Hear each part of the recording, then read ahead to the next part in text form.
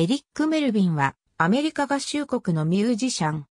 パンクロックバンド、ノー FX のリズムギターとコーラスを担当。ノー FX に83年の結成時から現在に至るまで所属している。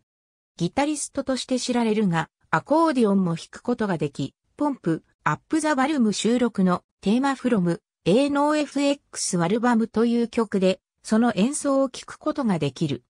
彼の独特なコーラスは、メルエールとわめき声や叫びを意味するエールからなると呼ばれ、オフィシャルサイトなどのメンバー紹介欄では、しばしばギターメルエールと表記されている。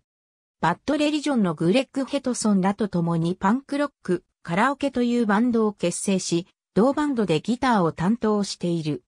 また、2007年に行われた ME ファーストザ・ギミ、ギミスのヨーロッパツアーでは、 Fat Mike の代わりにベースを演奏した。また、バンドの公式サイトでバンドのバイオグラフィーを書いている。ノー FX のホワイトトラッシュ、ツーヒーブス &A ビーンは当初、ホワイトトラッシュ、ツーカイクス &AS ピックというタイトルでリリースするはずであったが、ユダヤ教徒であるメルビンの母がアルバムのタイトルにユダヤ人の別称を使うことに怒り、祖母へ言いつけると脅したためタイトルの変更を余儀なくされた。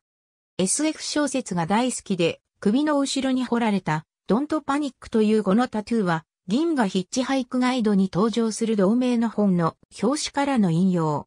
ロサンゼルスのメルローズアベニューでコーヒーショップを経営していたが98年の3月に閉店した。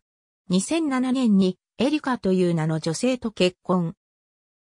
ファットマイクの主催する雑誌 Punk Rock Confidential に結婚式の模様が掲載される http コロンスラッシュスラッシュ www.nofxofficialwebsite.com スラッシュ qa スラッシュ qa リード PHP3 ページイコール 12http コロンスラッシュスラッシュ www.facebook.com スラッシュページーズスラッシュ nofx ダッシュ official ダッシュ page スラッシュ 180985116576http コロンスラッシュスラッシュ www.nofxofficcialwebsite.com スラッシュ QA スラッシュ QA リード。PHP3 ページイコール12ポチロ FX 自伝間違いだらけの。パンクバンド成功指南発売日。